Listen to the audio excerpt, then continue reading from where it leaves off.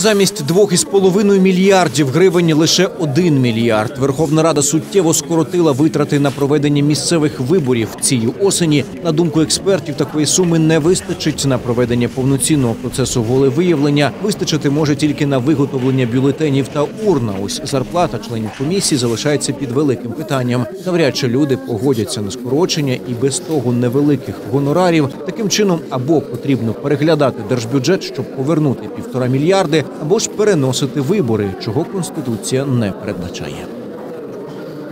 Я очень сомневаюсь, что члены избирательных комиссий войдут в положение и скажут, да, мы согласны работать за, за одну третью вместо, вместо полной стоимости, например.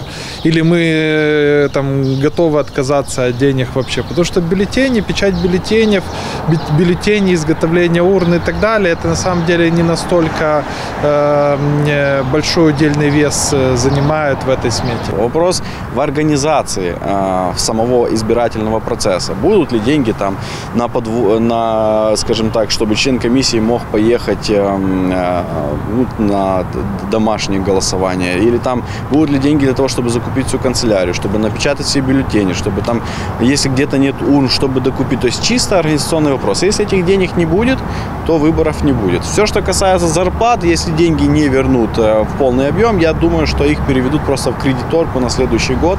И с теми людьми, которые официально получали зарплату из э, госбюджета, просто получат ее в 2021 году.